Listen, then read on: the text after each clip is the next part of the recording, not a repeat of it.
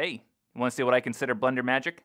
Check this out. I got this dynamic 2D facial system that I made that's really easy to use and has a lot of cool features like animated textures and dynamic eye movement. And all these expressions are stored and accessible through the asset library. You want to see something that's even more cool? Well, this system I made, you can also add it to just about any character that you want with just a few steps. First, I'm going to go into the shader editor and add the shader node that contains the whole eye control system. Then I'm going to go into the asset browser and add the control rig which drives the system and join it to my character's rig. Then I'm going to go into the system node itself, load my character's eye textures into the texture nodes, and refactor the drivers to fit the new rig and the new scene. Then finally, I'm going to add two UV warp modifiers targeting the appropriate UV maps and bones of my character, and bam, I got a newly working 2D facial rig. Now, this may seem a bit complicated at first, but after this tutorial video, you're to know how to make your own version of this robust 2D control system and even maybe iterate on top of it. So this tutorial was inspired about a week ago when I saw this video on Twitter showing off this eye control system. It was made by Brawler's World, which is a fellow 3D animator, and it went a bit like this. So Brawler has these eyes here in Blender, and they are controlling them through an armature. They can move the pupils independently inside the bounds of the eye, and with these switches on the side, they can alter the shape of the eyes to whatever expression that they want. As you can see though, this system is rather janky and they admit to this in the tweet below it that it isn't as efficient as they would want it to be. And this video got me thinking, how would I improve on this system? Or better yet, what would be the best 2D facial rig that I could make? There's a lot of tutorials out there that show off how to make a 2D facial system and I have at one point or another in the past probably utilized every technique from all of them for my own purposes. And for basically all of the ones that I have used, looking back, I have some contentions on their usability or their implementation or construction construction. Some of them used image textures daisy chained together in one long string. Some of them stored their facial textures inside these image atlases and moved the UV maps about to select a specific face. And some of them even used geometry nodes, drivers, or incredibly complex mathematical equations to make their systems work. Each system that I analyzed had certain drawbacks that I felt made them unintuitive or even painful for me to use. The way that I see it, I just don't find any of these to be an acceptable system as they are. They definitely work and they definitely have value because each one gives gave me insight into some important techniques, but for me, as an animator, they do not provide the freedom that I'm looking for. These systems are just too difficult to manage, and they only become more problematic the more that you add to them. For the purpose of this video, and for myself, I wanted to make something that was generally my ideal 2D facial system, one that was far more robust, eloquent, and easy to use. I wanted to build a system that was reusable, easy to implement into other characters, and that is easy to create texture faces for without the fear of bloating, with no need of pointless math, path, which requires minimal planning or organizing and doesn't require any bone sliders or geo nodes or overtly complex mechanics. Um, so I, I did, I, I did do that. So here's the final eye control setup that I showed in the beginning, and I'm going to now start to break down exactly how my ideal control system works. The center bone right here controls the direction that the eyes look as well as the spacing between them and their rotation. Additionally, we have this bone here that can scale and rotate the pupils on their own axis as well as take independent control of the pupils scale scale, and rotation. These are just the basic controls, and the benefit of this is that it basically gives me dynamic control over where the eyes look at all time, removing the need to store eye direction in as its own texture. Now we're going to talk about the good stuff. I'm going to go up here to these bones right here labeled eye states. These bones right here are special because they control, um,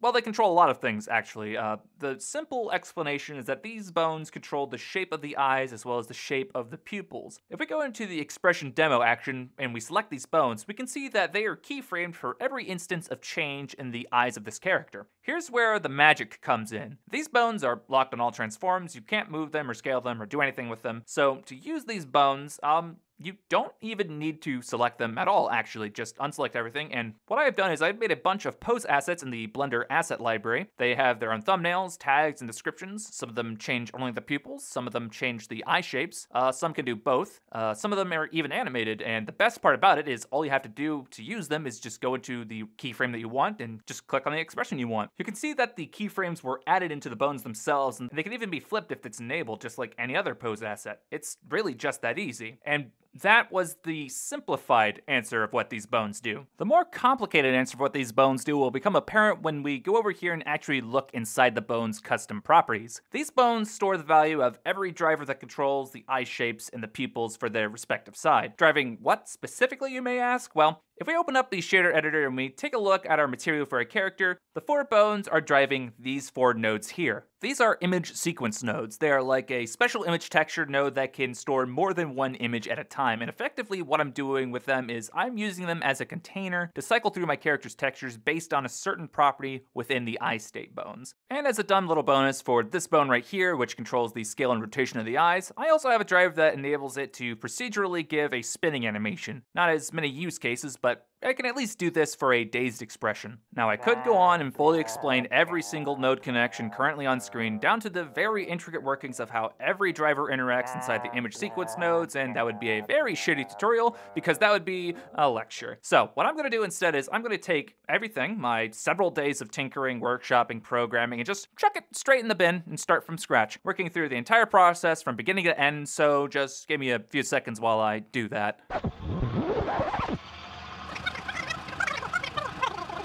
Here we are. We have our blank, clean slate to work with. Uh, I'm going to continue using this character bust that I made since this approach should work for any character model as long as it is not using a mirror modifier. Uh, quick disclaimer before I start. I'm using a different control setup than the ones that come with Blender by default. I'm still using Blender 2.7x controls with some of my own hotkeys, as well as some add-ons I'll talk about as they become necessary. Additionally, I need to express this tutorial is not for game development. I don't think you can export this system and its animations. Uh, I, it's strictly for animating a character's face within Blender itself. Uh, I have talked to some people about this, and they seem pretty sure that you can make a similar system in like Unity or Unreal or whatever, but I'm strictly an animator and not a programmer. So the first thing that we need to do before we even start texture painting is we are going to need to set up the region for this character's eye textures to even sit we are first going to be creating UV maps. Now don't panic, I know UV mapping is the bane of most people when it comes to 3D modeling. Uh, this is going to be really simple. So what we're going to do is we're going to go into our object data properties here for our model and we're going to go into the UV maps menu where we can find our current map. And uh, here we're going to click on this plus button, and what that's going to do is it's going to create a duplicate of our currently selected UV map. There's only one anyway, but it's important to remember. Now,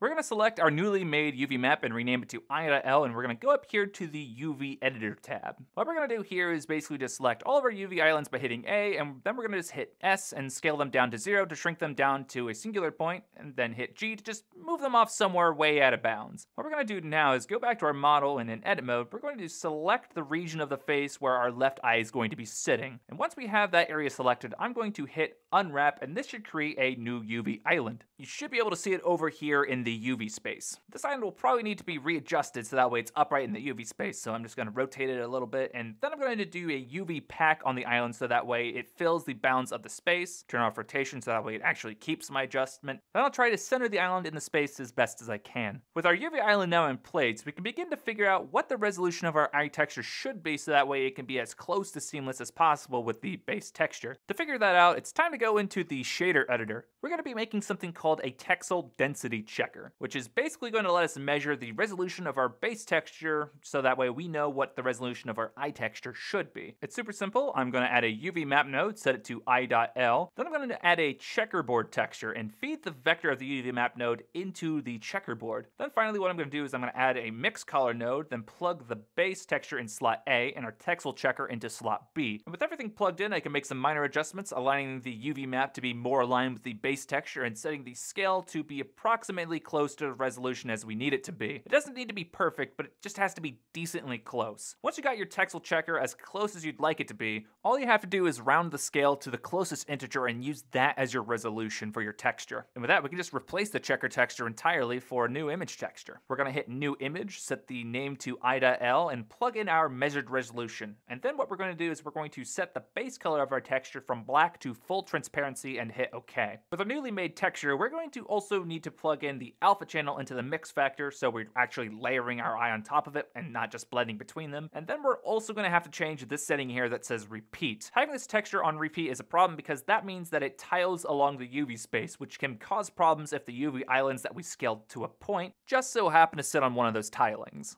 So for our sake, we're going to set this to clip, which will prevent that from happening. Now with our image texture properly set up, we should be able to just paint our eyes directly on our character. Though we have to make sure that we have the eye.L UV map selected as well as the eye.L texture selected. Otherwise, we may end up painting on the base layer instead. We're going to be starting with a neutral expression since that's going to be the basis from which we build all of our expressions. And for the purpose of this, I suggest that you use grayscale. I'll be using black for the outlines and we're not going to be using any color. Colors are going to be important when it comes to masking and I'll be using a masking system that draws from the value and saturation of this eye texture, which if that doesn't make any sense, it will when we actually start talking about how we layer the pupil in. All right, I got my eye texture here made now and what I'm going to do next is actually very important. I'm going to go up here to the image editor. I'm going to save my texture. Haha, yeah, big funny, I know. It's important to save your textures. I know I've lost many image textures because Blender crashed and wiped all my work before, but that's not the point. Pay attention to this. I'm going to go into my textures folder here and I'm going to make a new folder called eye states, as well as pupil states. I might as well since I'm here. And I'm going to open up the eye states folder and this is the really important part.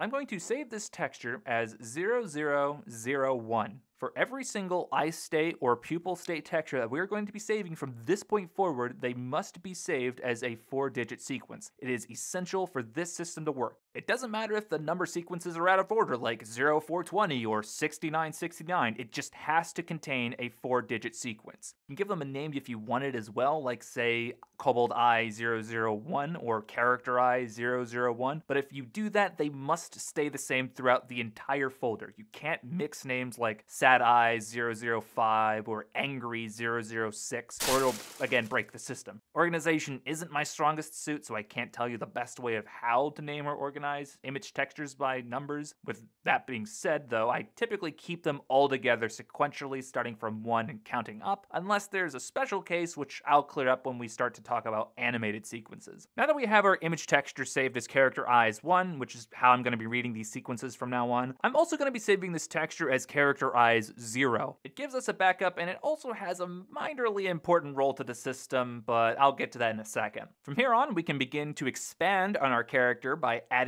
different eye expressions and variations as many as you feel appropriate. The benefit of this system is that it can support, at least in our case, up to 10,000 different textures. And because of this, you don't have to worry about the scalability or the system growing rigid as you add to it like any other system. And at some point down the line, if you want to add more expressions, you can very easily do so. And you can even have textures that use completely different sizes and aspect ratios if you felt so inclined. So once you have as many different expressions as you feel is appropriate, we're now going to take our image texture, eye.l, and we're going to convert it into an image sequence by clicking on this drop down here and selecting image sequence. Okay, the image sequence node.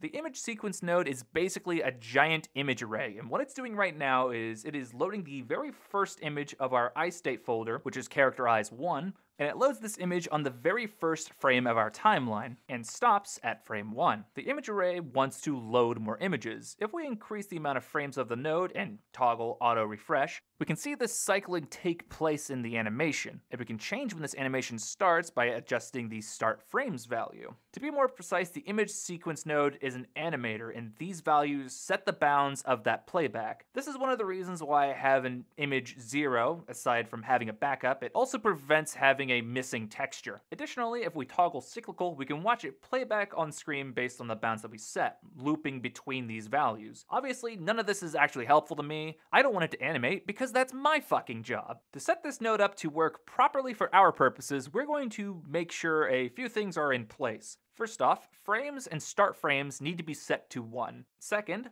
Auto refresh needs to be enabled. Encyclical is literally worthless. We're going to be programming our own system that does the exact same job but better around the time we start to talk about drivers. Now, the way we're going to use the image sequence node and tell it what image we want to pull from the folder is by adjusting the offset slider. The offset slider is really the only thing that we care about, and just about every custom property that you saw was targeting the offset of an image sequence node. The offset value acts as an index of an array, and of course, 0 is the starting point point. So whatever the offset value is will return the image of the given sequence address. So in a sense, four-digit nomenclature that we used in our texturing was basically us declaring how large of an array we intended to use. I'm pretty sure 10,000 slots for texturing is more than enough for our purposes. I'd rather overkill it than have to refactor a lot of images, don't you think? Alright, we got our eye textures done for now, so we can now begin to work on the pupils. You'll need to repeat the same process as you did to make the left eye sequence, starting with making another UV map. That's easier this time around since you just have to select the eye.L UV and hit plus and that'll create a complete duplicate of it. Now for the pupil textures themselves.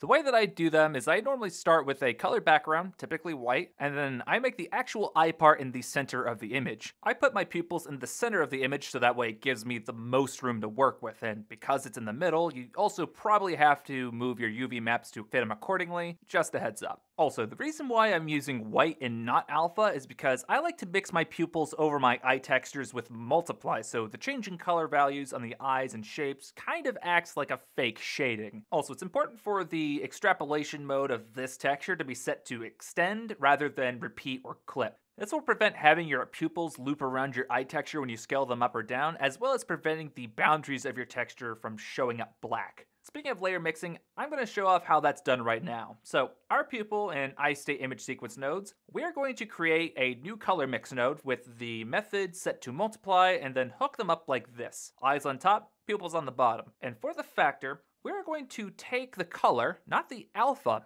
of our eye sequence nodes and plug that into our texture mask. I'm going to add a separate color node and plug into the color like this. Then I'm to set the method from RGB to HSV. Then I'm going to add a math node set to multiply and join our saturation and brightness values. What I'm trying to do here is I'm trying to make a threshold where the pupils are going to be masked out depending on how dark the color of the eye shape is going to be as well as how saturated that color is going to be, using this math node to join them together. For myself, I want to allow the pupil layer to be able to mix with colors above a value of 0.125, as well as colors below a saturation of 0.5. And this can be done with a greater than and less than math node respectively. This masking setup allows me to do extra stuff with the eye shapes like tears or weird little cracks, and really the thresholds that I provided aren't really that important. Feel free to experiment with them as you feel like it. These are just the values that I'm using. But I will suggest that once you get these math nodes set up, that you group them together so that way you can use them for later in the right eye system. Doing it this way also means that you can just edit one of them and it changes both of them since they use the same data set. And with that, we've successfully made the left eye setup. Now we just have to repeat the process for the right eye, and fortunately we can duplicate most of our work to create it. We will have to create the right eye and pupil UV maps, but I'm going to show you an easy way how to do that.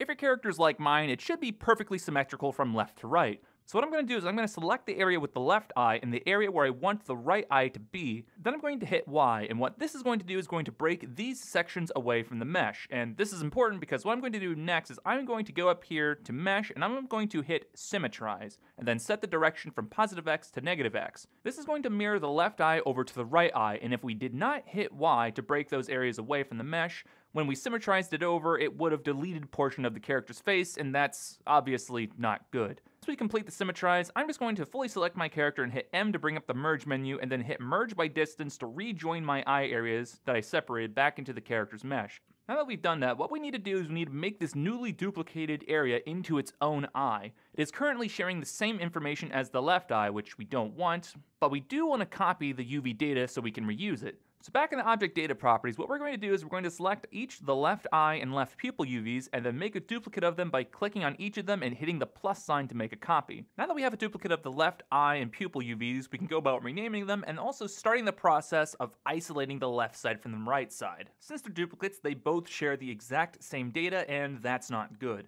With the right side selected, we can go into the left eye and pupil maps and scale our UV islands down to move them out of the space to clean it. Then we'll need to repeat this for the left side by selecting the left eye area and doing the same thing for the right eye and pupil UV maps. And finally what we will need to do is we'll need to take the right eye pupil map and flip it horizontally across the center point of the space so that way it'll match the left side.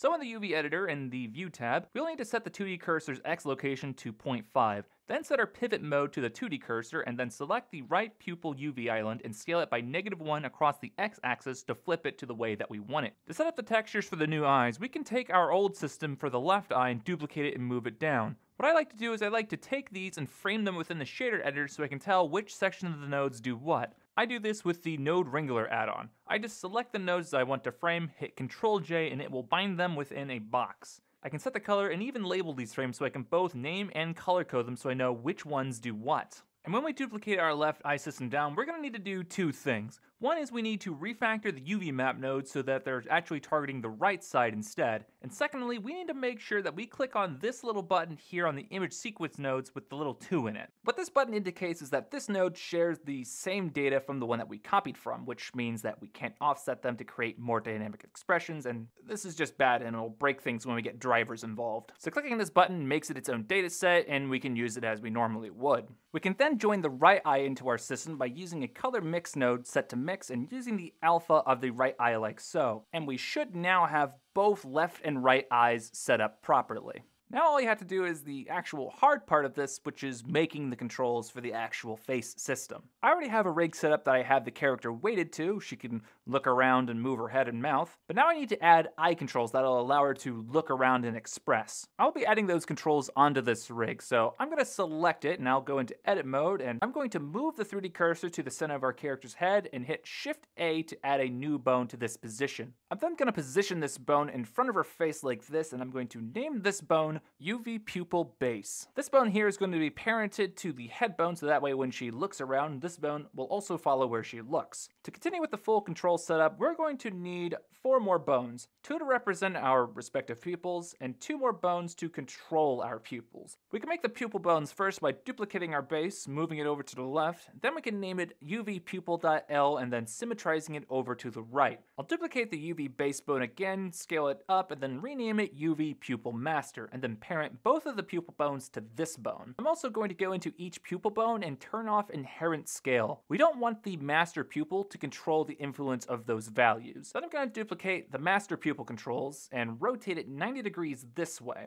This bone is going to be called UV pupil transform and it's going to be parented to the pupil master bone, just as the pupil bones were. Now, the way that we're going to set up the controls for our character's eye movement is going to be done through a modifier. We're going to leave edit mode and select our character mesh, and in the modifiers tab, we're going to look for the UV warp modifier. I'll be starting with the left side first. For this modifier, we need to feed it which UV maps are going to be manipulated, which for us will be the pupils.L layer. Then we'll need to tell the modifier how we're going to manipulate our UVs, and for this, in the objects from and to fields, we'll be selecting our armature. This will create two new fields for us to select which bones we're going to be using for this modifier, and we'll be using from UV pupil base to UV pupil.L. If we did it correctly, the pupil texture should be offset to our character's left somewhere. We're gonna have to reel this back into place, and the way that I do it is I turn off the modifier for a second, place the 3D cursor on a point that I can remember, turn the modifier back on, then open up the transform menu and adjust the offset of the warp modifier to fit where it used to be. The process is the exact same for the right eye, just targeting the right side instead. Here's a quick way to do that. We're just gonna hover over our UV warp modifier and hit Shift D to duplicate it. Then we're going to scroll down and make some quick changes, changing the UV layer to pupil.R, changing the bone fill to UV pupil.R,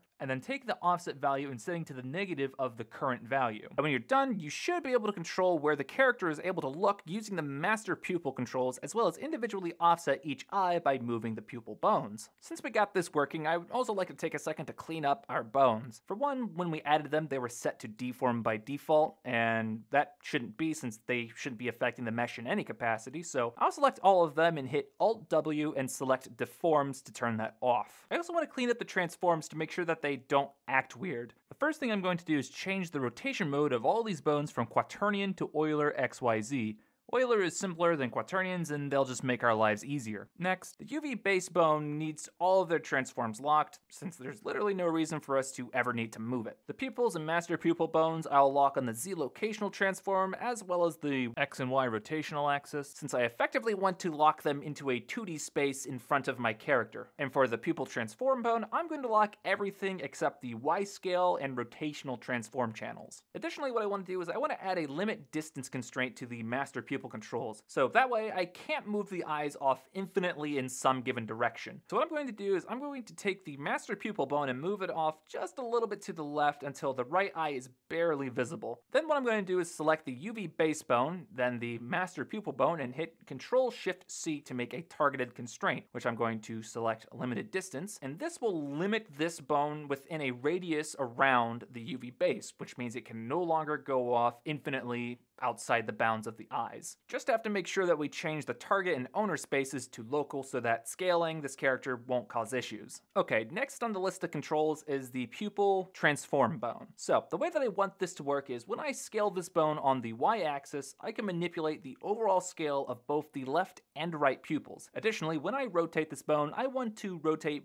both pupils at the same time on their axis. I'm not going to be using a copy rotation or scale constraint because, well, they simply won't do what I want want them to. What I'm going to be doing instead is selecting our transform bone and then our left pupil and hit Control Shift C to make a targeted constraint and I'm going to select the transform constraint. For this transform constraint, I'm going to want to set the target and owner to local space and rename the constraint to scale control. I'm going to go down here and open up the map from and to dropdowns. I'm going to take the scale of the y-axis from the transform bone. For the minimum, I want it to be 0.5 and for the maximum, I want it to be 2. For the map to fields, I'm also again wanting to target the scale, but here I'm wanting to source the transform of the y-axis of our target. So I'm going to change the source for all these to the y-axis and for our ranges, I'm going to put in 0.25 as our minimum and 2.5 for our maximum. And finally, we're going to change the mixing mode from replace to multiply, so that way we can still edit the scale of our pupil bones individually. This should create a decent range for our scale and rotator bone to control. Now all we have to do is do the same for the rotation. So we're going to make the exact same transform constraint, this time targeting the rotation. And for the rotation minimum, we want to put negative 180 and 180 for the maximum. We're going to map the same values to the Z rotation, sourcing the targeting Y axis axis. And the transform bone should now allow us to both rotate and scale the left pupil. And for polish sake, I'm going to add a limit scale constraint to our transform bone to clamp it between 0.5 and 2 since we won't need any value outside of this range. Now that we got both of these transform constraints, all we need to do is transfer them over into the other pupil bone. To do that, we're going to first enable an add-on in Blender called the Copy Attributes menu. Go up into the Edit menu, hit Edit Preferences, go to Add-ons, search Copy Attributes, and it should pop up. You can enable it and save your preferences, and now we can easily transfer our constraints over. So first we're going to select the bone we want to transfer to, which is our right bone, then select the bone we want to pull from, the left bone, hit Control C to bring up the Copy Attributes menu, then go down to Copy Selected Constraints, and here we can select our scale and rotation constraints and hit OK, and now both eyes should be controlled by this transform bone, and we now have full control over the movement of our character's eyes. So, after all that, we got the basic controls for our eyes. Now we need to make the bones to control our image sequence nodes. That way we can, without touching the shader editor, change our character's expressions from our eye state controllers. So to start off, I'm going to be making a new bone called EyeState eye.l. It is very important to include the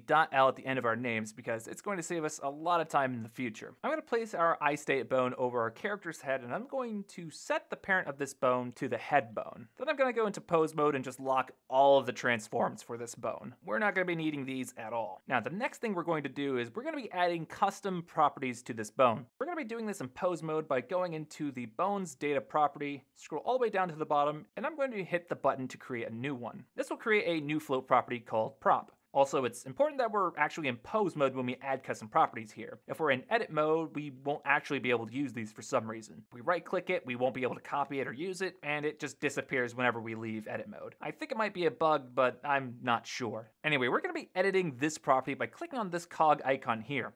Now, this property is simply going to be called texture address. It's going to control the index of our image sequence node and that lets us cycle through our textures. We don't want this property to be a float value, so I'm going to change it to an integer. Uh, I'm going to set the maximum value to 10,000 since that's the largest possible value our system can support. And then I'm going to set the minimum value to 1 and hit OK. With our property established, we now need to take it and make it into a driver. So what I'm going to do is I'm going to right click on the value of our property and go down here to copy as new driver. Then I'm going to go into the shader editor where we have our eye.l image sequence and then I'm going to right click on the offset and go into paste driver. The offset value of our image sequence node should now be purple which means that it is now being controlled by this property. And technically if you just wanted a simple system, this is all you really need, this one driver and nothing else. You just move on to making the other three bones with the exact same property, and well, you gotta copy their drivers into their respective nodes as well, but you get the idea. It's simple. Everything else is just sprinkles and eye candy, but they're still important to me and you're gonna learn about them. Anyway, I'm gonna right click on our new offset driver and hit edit driver, which will bring up this menu here.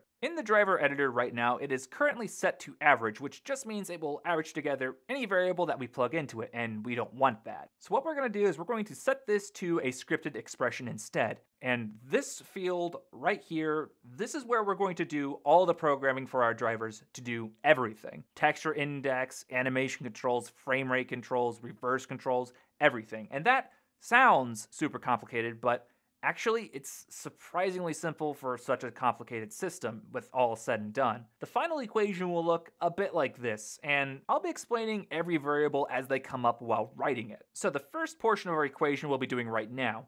This right here, texture address, is the current name of our variable that represents our texture address. I'm going to be shortening it down to text. In the script field, we're going to have to refactor our variable so that way we don't have a null variable reference. And then I'm going to put text in parentheses. Our address property isn't the exact index for when we're cycling through our image sequence, if you remember how array indexes work. With the offset being 1, we're actually pulling the second texture from the sequence. So we're going to have to offset this variable by minus 1. Technically, we don't have to do this, and we could just edit our property to have a minimum of 0 and a maximum of 9,999, but I don't want to have to do the mental math of subtracting one every time. So now that we got the index set up, we can now begin to incorporate the animation portion of our script. To make editing our drivers a little easier, what I'm going to do is go up here in the shader editor and I'm going to click on this little thumbtack icon. So now when we select our armature to go into pose mode to access our control bones, our material will stay on screen and we can easily swap back and forth. Now, for our next variable, we're going to pull from Blender what the current frame of animation is. Since we're dealing with animated textures, we're going to need a way to measure time. So what we're going to do is go into the timeline and right click the value of of the current frame to copy it as a new driver. And to put it in our equation, we're going to go back into the driver editor and click on this button here. This will paste the information that we copied from the current frame value as a new variable. And from here, we can put this into the equation as plus current frame. However, I would like to change the variable from current frame to the Greek symbol delta because, well, it represents time, it's short, I know what it means, and it also just really looks nice. Honestly, it's kind of a pain in the ass because you'd have to copy the character from online to paste it in, so if you like, just use like X or something. Works all the same. So, with our time variable in the equation, what should happen now is that as the current frame progresses, our image index should increase. This is because we are now adding the numerical value of the current frame to our index, and this will continue on until infinity, which we don't want, so we need a way to limit the output of delta to a range, and that is where the bounds variable comes in. We're going to be creating creating a new custom property called texture loop bounds, and this property is going to be an integer property, the default value of 1, a minimum value of 1, and a maximum of, uh, doesn't really matter, the big number. Now, it's very important that this value never equals 0, because we're going to be doing some division with this number, and if this value ever equals 0, the whole driver breaks, and that's bad because we have to start all over again. So we're going to paste this in as a new variable and we're going to rename it to bound in the equation. And to use it, we're going to take delta and do what's called a modulus. So instead of using a divide sign, we're going to use a percent sign. And what this is going to do is it's basically a fancy division. It's going to give us the remainder of whatever we divide by. So with the bounds value set to 1, the modulus will always return a value of 0 since it always divides by 1. As we increase this variable, this also increases the range that it can return. Setting the bounds value higher the 1 basically causes the image sequence to begin cycling through the animation up until that value before starting over again. And with this variable, we can effectively set up a playback range for animated textures if they in fact exist within our sequence. Now the problem that I have is that we have no control over the speed at which these animations play back. The playback speed is dependent entirely on our blend file which is currently set to 24 frames per second, and we have no way to independently set that within the texture animation. So now we're going to create our playback speed property which we're going to call delta step, or frame step if you don't want to use delta. This property is going to be an integer, a minimum of 1, and a maximum of, again, doesn't matter. We're going to paste it in as a new variable and rename it to step, and then what we're going to do is we're going to divide delta by the step variable and encapsulate this in parentheses. And then to ensure that this outputs an integer value, we're going to type round next to our now encapsulated expression. So now as the animation plays with our texture animating, if we adjust the step value, the playback of our animation will become slower and slower, requiring more frames to pass before cycling on to the next frame. So the next variable we're going to create is delta or frame offset, and basically what it'll do is it'll allow us to control the current frame of the animated texture sequence. As of right now, if we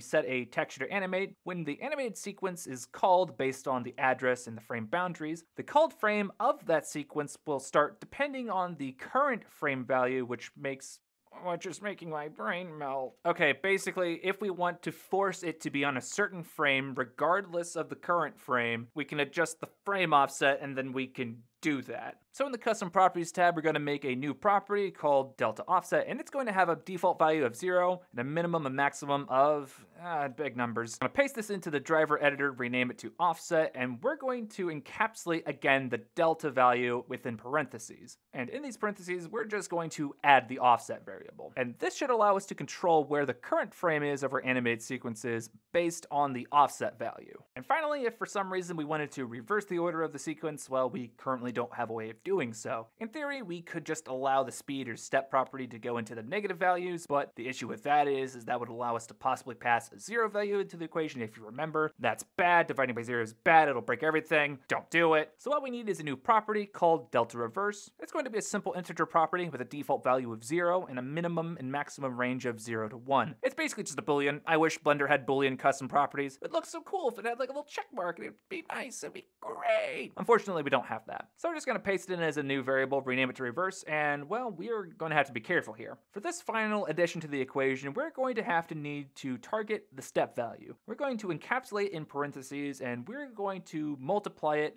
by this expression, 1 minus 2 times reverse. So what this is going to do is basically our reverse property is acting as a toggle. When it is 0 or false, it will go through the equation, uh, 2 times 0 is 0, 1 minus 0 is 1, step times 1 is step. So uh, there's no change, but if the reverse is true, if it's 1, uh, then 2 times 1 is 2, 1 minus 2 is negative 1, and step times negative 1 is negative step, which will reverse the order of the animation that it's played back and give us the control to reverse reverse animation. And that right there caps off the entire control driver for our image sequence. It's honestly incredible how simple it actually is when you sit and look at it. It's only a single line of code and it does so much. Now the issue is, is we need to do this for the remaining three image sequence nodes. Since we have our final driver actually complete, here's what we're gonna do. I'm gonna right click on the image sequence driver that we just made and hit copy driver. And then what I'm going to do is I'm going to paste it into the offset of every other sequence node. So now that we have this driver in place, all of our nodes, we can control them with this one bone's custom properties. Obviously, we don't want this one bone to control all of these, so we're going to need new bones with their own custom properties and rewire the drivers to target them instead.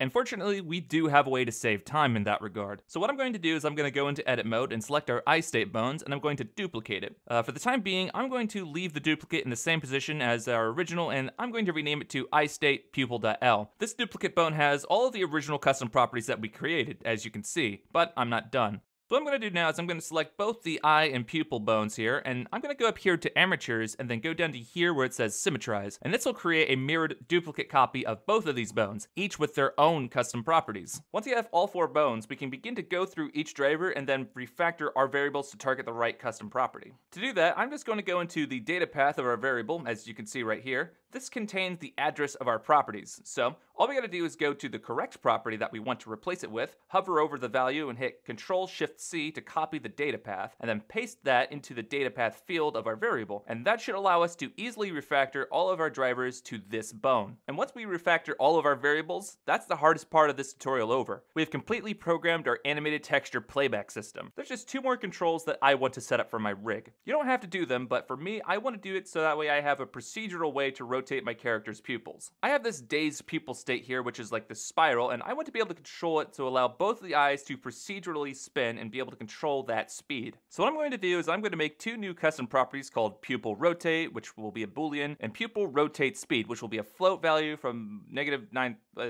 yeah, uh.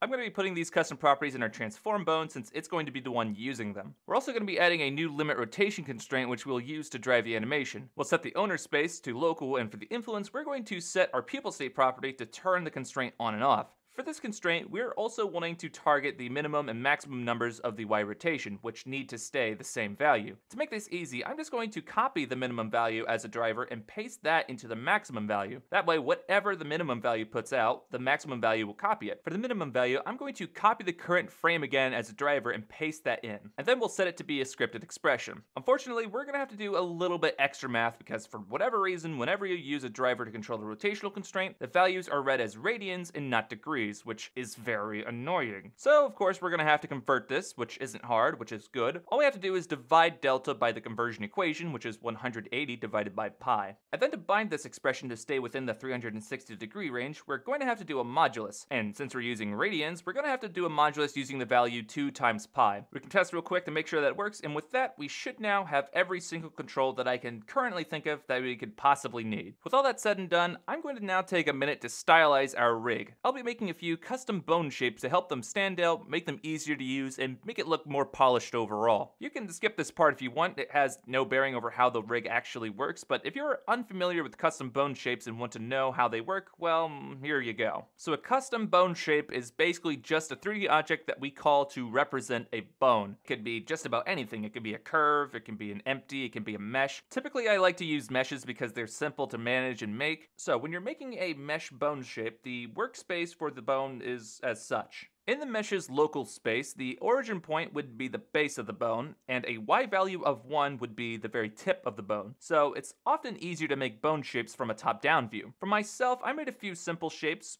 Some of them I added a text object that I converted to mesh and joined it with the object so it had a nice label. For the eye state bones, what I did was I made two different shapes. I made this circle for the pupils and then this outline for the eye shapes, so that way when they came together, they created this eye shape. This also made it much easier to select them so that way they were no longer visually overlapping each other. As for the UV base bone, since it only serves as a purpose to store a locational value for the UV map modifiers, and I can't transform it in any way, what I decided to do was to make it into a label for the EyeState drivers. I made the custom bone a text mesh, and then from here, using the transforms of the custom bone values, translated it to sit over our EyeState bones, which made it look a lot nicer. Okay, so now we got the controls finalized, they have their polish, they work. I'm now going to show you how to use the facial rig that we just created. So not gonna lie, uh, selecting every EyeState bone and fiddling with all these custom properties is not an intuitive design. We would be stuck having to dive into each bone one at a time to create an expression and then having to keyframe all of the variables, and that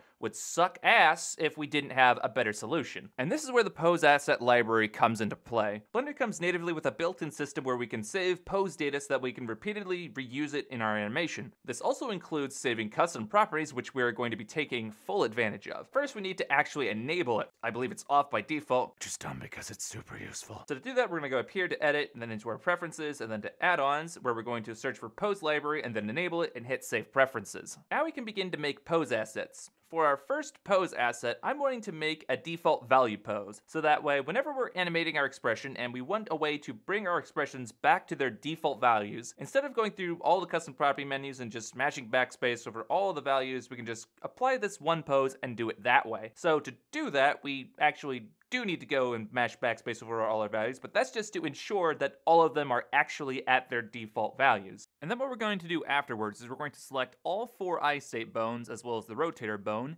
hit I to bring up the keyframe menu, and then go down to here where it says location, rotation, scale, and custom properties. And if we go through our bones, we can now see all of our custom properties are yellow, which indicate that it's been keyframed. And once we have all of our values keyframed to their default values, what we're going to do is we're going to go over here into the 3D viewport into this little sidebar here, and we're going to go into this tab here that says animation. If you don't see this tab, that means you don't have the pose library add-on turned on, which you should probably fix that. But what we're going to do now is we're going to click on this button here that says create asset. And when we do that, a little menu over here is going to pop up that'll allow us to name our new asset, which I'll be naming zero underscore EyeState dash default. I always use zero underscore when I'm designating something as a rest pose, so that way it's easier to find whenever I search for it. After we click the button, we should also now see a new image over here in the sidebar. If you have a camera active in your scene, it will try to make a studio preview screenshot of your scene and use that as a thumbnail for your new asset. The way that I have this material set up, the studio preview will never show anything useful, so we actually have to make a render to get a good thumbnail. I'll set up a camera real quick to take some actual thumbnails and save the render to a new folder called Asset Preview.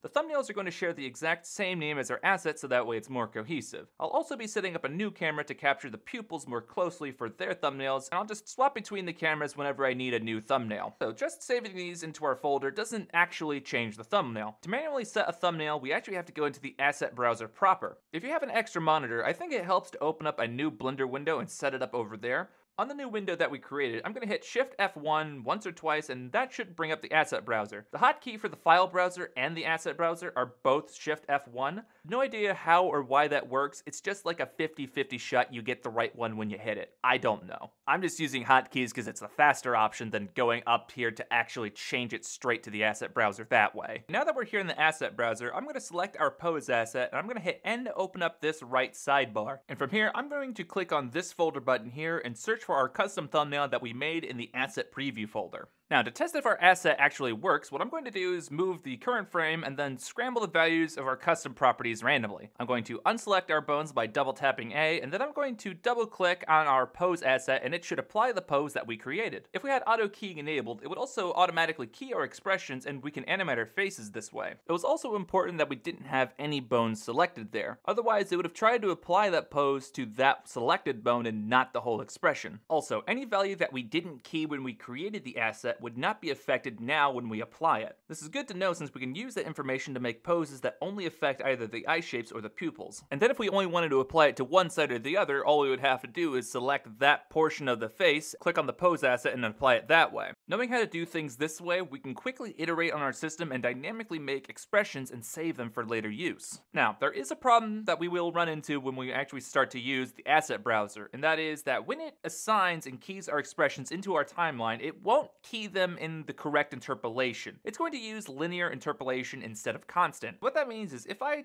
key these two expressions a few keyframes apart, Blender will actually cycle through every texture until it gets to the final keyframe. This is a problem for me because I want her to hold this expression until it hits this keyframe, and I don't want to set the interpolation to constant every single time that I make a keyframe for a character's face. It's gonna get annoying really fast. So what I'm going to do is I'm gonna go into my preferences, go into the animations tab and set the default interpolation from Bezier to constant. And what this will do is it will force Blender to key our facial expressions in the correct way. Uh, this will also force any keyframe that we add to also use constant interpolation. This is fine for me because I always had it set to constant. It always helps for blocking out animations, getting timing of key poses down before smoothing everything out. It's just set to Bezier by default, and you should know that. Alright, let's talk about a few more things you should know about the system to know how to utilize it better. So, you know you can create a pose asset, you know by now you can click the create asset button here. However, let's say you made an asset and you realize that you made a mistake. It doesn't key the texture correctly, or you accidentally keyed the wrong bone,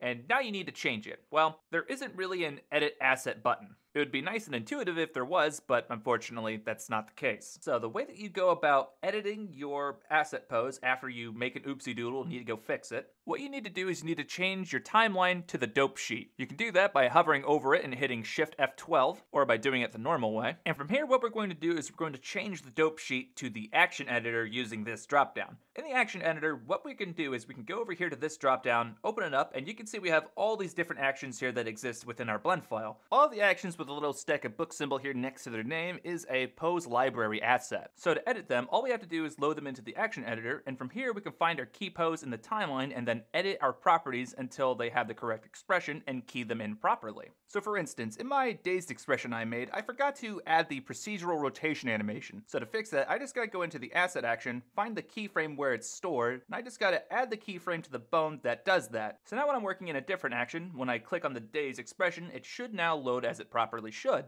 Finally, let's talk about making animated expressions. I mean, I spent all that time to program the system and I'm gonna use the whole system. Here is my approach for making and using an animated texture asset. I wanted to use this gif of some pixelated fire that I found for my character's pupils just to show off some anger. So, to do that, what I'm going to do is I'm going to throw this GIF into GIMP and I'm going to begin exporting out each frame one at a time. Since this is an animated sequence, I kind of want to give it a special address so that way I can keep it separated from my static textures. I don't know what the best way is to organize these, so what I'm going to do is I'm going to place them around the 500 range and start to export them there in sequence. Once I export the sequence out, I can go back into Blender to set it up. Whenever you add a new texture to your sequence folders, you'll have to refresh your image sequence nodes, and to do that, you'll need to enable the Node Wrangler add-on. With it enabled, you can select your image sequence and just hit Alt-R and that will refresh the node. Then in our pupil bones, we can type in the address of the first frame of our animated sequence. Next, we need to set the loop bounds for the sequence, which is a total of 10 frames. And that's basically it.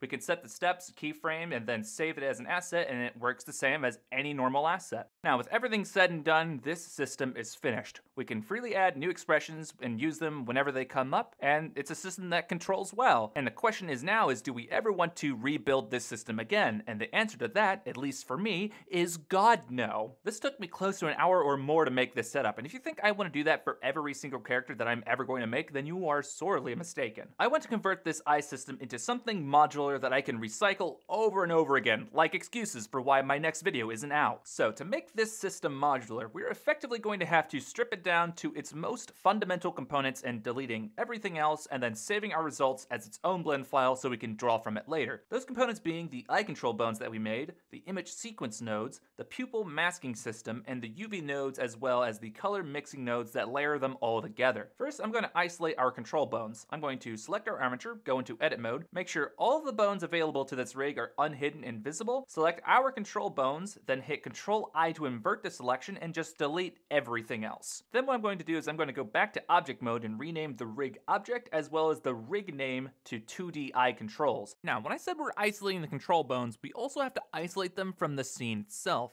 Now, what exactly does that mean? Remember this control bone here that controls the scale and rotation of the pupils? Well, it contains a driver that is dependent on this file, the current frame data. If we don't remove the reference to this scene, what will happen is when we try to add this as an asset, it won't work correctly. I also don't want to delete the variable entirely. So what I'm going to do instead is I'm going to make the variable empty by deleting the data path and thus removing any reference to this scene. Next, I want to isolate our shader nodes. I'm just basically going to select everything that involves the left and right eye system, and then I'm just going to hit Control G to group them all together into a shader node. I'm going to rename this node to 2D Face System, then I'm just going to relabel it to Sickly's Face System. I mean, I gotta take some credit, right? I'm going to edit our new 2D Face node, and just like we did with the rig, I'm going to go into every image sequence driver and delete the data path to the delta variable, one at a time. Then when I'm done with that, I'm going to go through these image sequence nodes and revert them back into an empty image texture by clicking these buttons here. You might think this is bad because we can no longer see our drivers and that they're gone. Well, they're actually saved inside the image nodes themselves. If I hit new texture and then swap it back to empty image sequence, we can see that our drivers are actually still there. As for the UV map nodes, I'm just going to leave them as they are. When I add this to a new character, I'm going to be using the same nomenclature for their UVs anyway, so basically it'll be expecting a specific UV named eye.l and etc. for them all to work.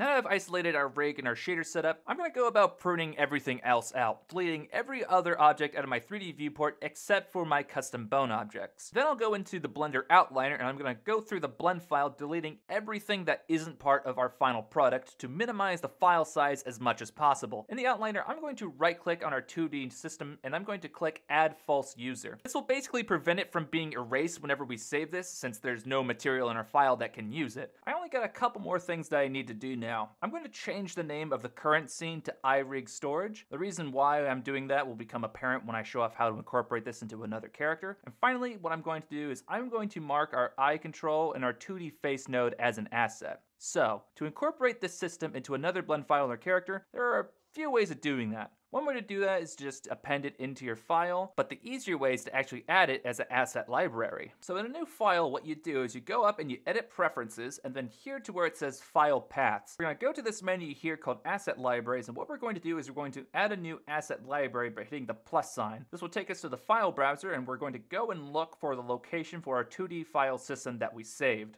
When we add this directory and then save it to our preferences, what we should be able to do now is open up the asset browser and then set our asset directory to that file directory, and we should be able to access our system from any file that we want. The way that I add this system to any character I want, I first start off by adding the 2D face node to the character's material. I'm going to do that by dragging the 2D eye system into the material like this. Then I'm going to drag our 2D face rig into our scene as well. Now, this has inadvertently done something. Uh, up here in our scene drop down, we can open it up and we can see that we have a brand new scene called iRig Storage. This was generated when we added our rig to the scene, and we don't really need it, so I'm just gonna delete it and move on. For the node to work, we're going to have to make sure that our character has the appropriate UV maps, which I have made sure ahead of time. Then we can allocate our image sequences that we want to use. Alright, so we have our 2D node set up as well as our control rig in place. What we should now do is go about reconnecting our controls. We're going to need to add the UV warp modifier back to our character so that way we have control of the pupils. And then we're going to have to go about re-establishing our drivers. Right now, if we go into our face controller node and check, the drivers are actually still referencing the rig from the rig storage scene, even though it no longer exists.